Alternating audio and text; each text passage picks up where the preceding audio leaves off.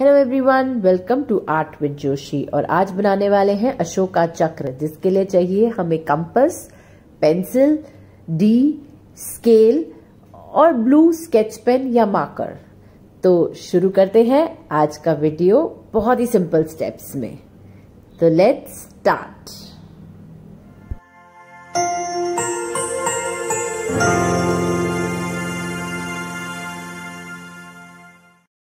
सबसे पहले जितना बड़ा हमें अशोका चक्र चाहिए, उस हिसाब से हम बनाएँगे एक सर्कल अब उससे थोड़ा सा डिस्टेंस छोड़ के एक और सर्कल बनाएँगे। अब सेंटर में हम एक और सर्कल बनाएँगे और बिल्कुल एंड में एक छोटा सा सर्कल तो बेसिकली हमने चार सर्कल्स ड्रॉ कर लिए हैं। अब हमें क्या करना है? With the help of a scale हम सेंटर में एक लाइन दे देंगे। अब हम अपना डी लेके 30 डिग्री के एंगल पे पॉइंट्स डालेंगे। तो 30, 60, 90 ऐसे हम पॉइंट्स डालेंगे दोनों साइड्स पे। तो हमारा ये पूरा 180 डिग्री होता है तो बड़े आराम से हम 30 30 डिग्री के गैप्स पे सारे पॉइंट्स डाल देंगे।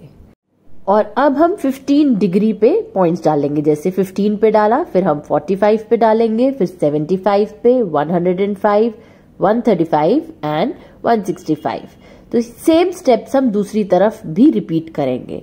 इसका फ़ायदा क्या होगा? हमारे इक्वी डिस्टेंस पे 24 स्पोक्स बन जाएँगे। ना ये बहुत इंपॉर्टेंट है कि हमारे अशोका चक्र में इक्वल डिस्टेंस पे 24 लाइंस होनी चाहिए।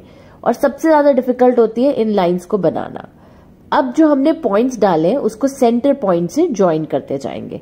तो जैसे ही हम इन्हें ज्वाइन करेंगे, हमारे पास आ जाएँगे हमारी 24 लाइंस आप देख अब अपने पतले ब्लू मार्कर की हेल्प से मैं एक कर्व लाइन बना रही हूँ। सेंटर लाइन पे एक छोटा सा कर्व दे के दोनों तरफ़ से ज्वाइन कर रही हूँ। इसी स्टाइल से आपको सारी 24 लाइंस पे ये पैटर्न बना देना है।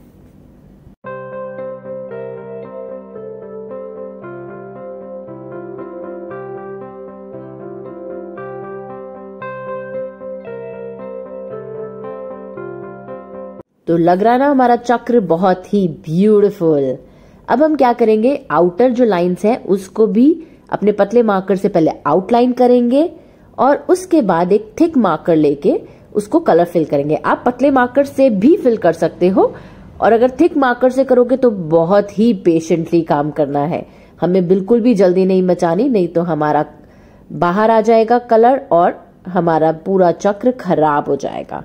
अब मैं जो ये अंदर की लाइंस के पार्ट है, इसको भी बहुत ही पेशेंटली फिल कर दूँगी। फिल करने से पहले मैंने इरेजर यूज़ करके सारी बाकी की लाइंस रब करती हैं। रब करने की वजह से वो बहुत ही नीट एंड टाइडी दिखेगा। अब हम बाकी के अपने जो स्पोक्स हैं, उन सबको आराम से फिल कर देंगे। Please make sure it doesn't come out नहीं तो हमारा चक्र उतना सुंदर नहीं दिखेगा।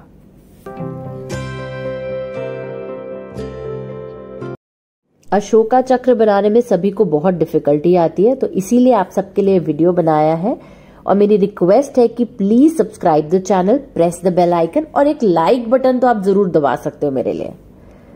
सब कुछ करने के बाद हम क्या करेंगे? सेंटर में जो एरिया हमने एक छोटा सा सर्कल बनाया था, हम उसको भी मार्कर से फिल कर देंगे। अब जो हमारे स्पोक्स हैं, उसके बीच में एक कर्वी लाइन देके उसको फिल कर देंगे, ताकि वो चक्र का प्रॉपर डिज़ाइन बन जाए। इसको बहुत ध्यान से फिल करना और बहुत ही सिंपल स्टेप्स में हमारा अशोका चक्र रेडी है। आई होप आप सब इसको ट्राई करोगे। Do subscribe the channel press the bell icon and comment आपको ये वीडियो कैसा लगा। Bye everyone take care